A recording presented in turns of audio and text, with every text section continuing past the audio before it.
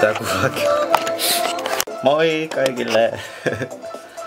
Elikkäs mä ajattelin nyt sit vihdoin saada aikaiseksi nämä videopostaukset. Tota, laitetaan musiikkia vähän hiljemmin.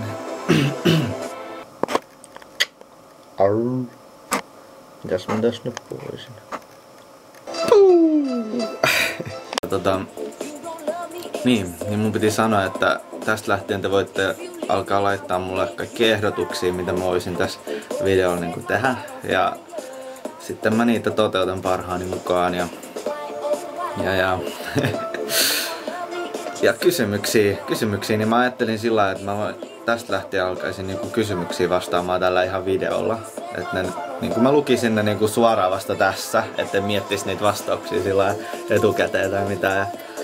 Se olisi semmonen reaali, reaaliaikainen tilanne niin sanotusti, niin teillekin se on vähän kivempi, että tulee ihan aitoja vastauksia sitten.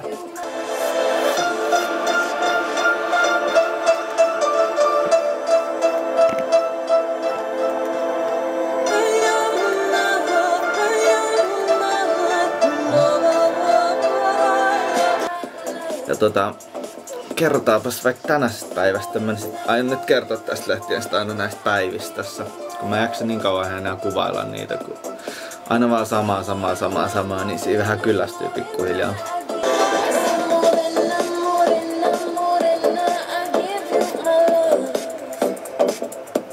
Tota, tänään mä näin Saakaa, mun kaveria, ja me mentiin tota, keskustaan Onks toi Tuomion kirkko vai mikä se onkaan se valkoinen siellä? Mut siis ää, mentiin sinne, käytiin ostaa vähän evästä eka. Käytiin ostamassa, mä ostin lihapullia, mustikoita, Saakakin osti mustikoita, semmosia pensasmustikoita. Mentiin sinne Tuomion kirkolle ottaa vähän aurinkoa, kun oli niin hyvät säät ja sitten syötiin siellä, otettiin vähän fotoja toisistamme ja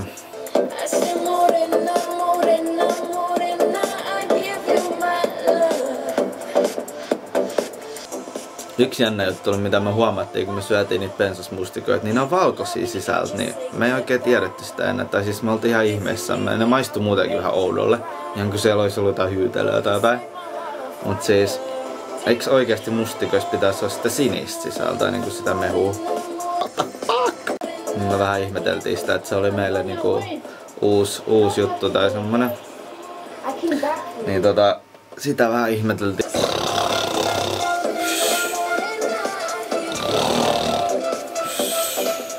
Sitten me kuvausten ja syömisten jälkeen mentiin sinne torille, kauppatorille. Ostettiin sieltä herneitä. Ja mentiin sitten sinne vielä hengailla vähäksi aikaa ja juttelee. Ja siellä me yritettiin kuvailla lokkeikin itse asiassa, mutta ne ei oikein tykännyt, kun me yritettiin syöttää niille niin mustikoita ja herneitä. Mutta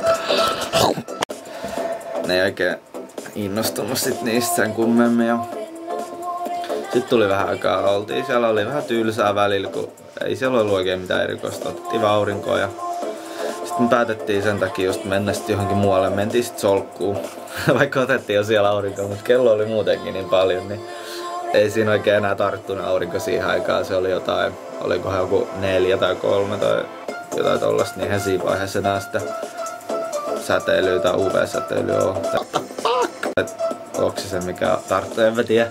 Nyt kaikki dissaa mua tosta, mitä mä äsken sanoin. Joo, mut sit mentiin siis solkkuun tonne Herttoniemeen. Niin siellä lähistöllä toi Saaga asuu siellä jollaksis ja mä menin solkkuun semmoiseen, mikä se on, X7. Se on semmonen tehosolari, mutta se on niinku mun mielestä korkein mitä niinku Suomessa ollaan. Ja Saakakin meni, Saaka meni 15 minuutiksi, menin ää, 80 minuutiksi. Se on semmonen aika sopiva mulle, mutta mä pystyn kyllä olemaan ihan 23 minuuttia ja 24 tai jotain.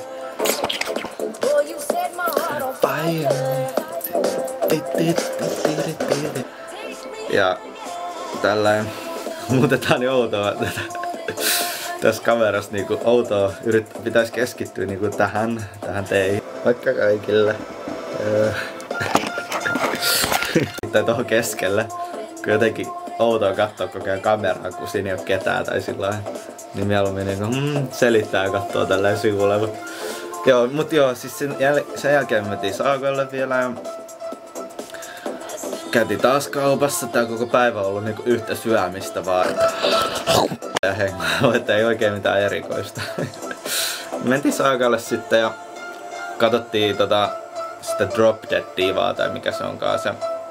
Se on tosi hyvä sarja, mutta mä tykkään sitä ihan sikaan. Se alkoi, oliks kahdeksalta tai jotain tollasta, joo. Morena, morena, morena,